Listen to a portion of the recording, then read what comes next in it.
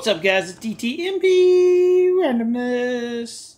And crazy Russian hacker put out a video called You've Been Opening Champagne Wrong. And he basically tells you that he's been opening it wrong too. He shows you the proper way to do it so that no champagne comes out of the top of the glass when you open it, which is a pretty neat hack. But then he goes through and shows you ways to do it wrong, ways to do it right, ways to do it wrong. And he opens up like, I don't know, seven or eight bottles of champagne which is pretty funny.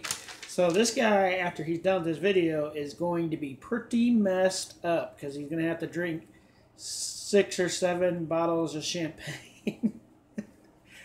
Hopefully he's planning on having a big party afterwards because he opens like seven, six or seven or eight bottles of champagne. But it's pretty cool the trick that he shows you, and it, nothing comes out when he does it that way, which is pretty damn cool. It's a cool way to learn. And this guy's freaking entertaining. This is the second video of his I've ever watched. Uh, it seems like you guys like me doing a review on him so that you know when his newest stuff comes out. So definitely go check those out. It's very good. And follow me on Instagram, and that is linked below.